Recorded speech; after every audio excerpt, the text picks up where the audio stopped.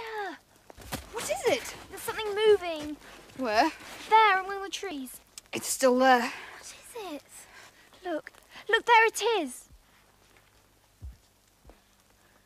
It wants us to follow it. Let's give it a try. Keep close together. Further in. We must go further in. We're not safe in the open. Please, we're not safe even here. But what are you afraid of? There's no one here but us. There are those who would betray us to. to her. You know who I mean. I was to meet you here and take you on to. Mrs. Beaver! I must take you where we can have a proper talk. Here we are. And it looks as though Mrs. Beaver is expecting us.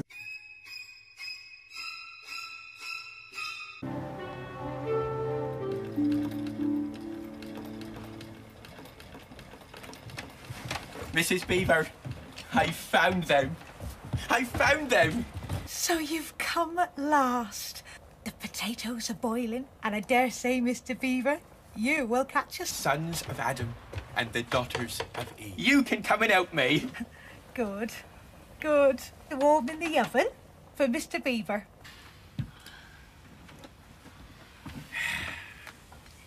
In this weather, we shan't have any unwelcome visitors. We all know what that means. We don't. You've no chance never coming out alive. Oh, hang it all. There must be something we can do. It's no good, son of Adam. No good you're trying of all people. Now that Mrs. Beaver's on the move. Don't you know? The king. The lord of the whole wood. He has come back. He is in Narnia at this moment. It's he that we, Mr. Tumnus. As in an old rhyme in these parts. At the sound of his roar, he bares his teeth. Sorrow's death. Will we see him? Why, Dr. of that's why I brought you here. Is he. Is he a man? A man? Certainly not. I tell you, he is king of the wood. Why, don't you know who is the king of beasts? You mean. man? Certainly not. I tell you, he is king of the wood. Why, don't you know who is the king of beasts? You mean. a lion? Certainly not. I tell you, he is king of the wood. Why, don't you know who is the king of beasts? You mean. a beaver? Certainly. The beaver.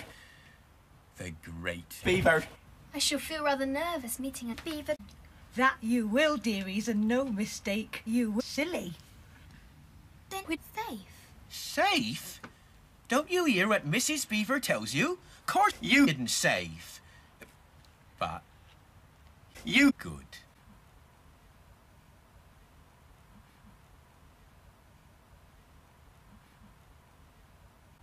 He's good. I want to see him. Oh. Lord love you, son of Adam. What a simple thing to say. if you can, down the river, a good step from here. I'll take you to it. Then we can begin to do things. Then it will be the end. And your lives wouldn't be worth a shake of my whiskers. Where's Edmund? He's gone! We must be off. We'd better divide into search parties and all go in different directions. What for? Well, to look for Edmund, of course. There's absolutely no point in looking for him. We know where he's gone. Don't you understand? He's gone to her. To the Mrs. Beaver. Has he ever been here alone? Yes. Yes, he has.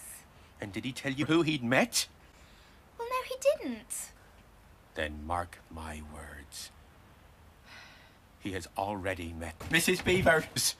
I didn't like to mention it before, as he was your brother and all, but the moment I laid eyes on that young fellow, I said to myself, I said, food, and eating that young fellow. You can always tell them when you've lived long in Narnia. The only chance you have of saving yourselves Simply sledge down in that direction. is Treacherous! treacherous. As bait, it's our only chance. It seems to me, my dears, that it's very important to know just when your brother slipped away. Just this very night. Right, Mrs. Beaver. But he's food.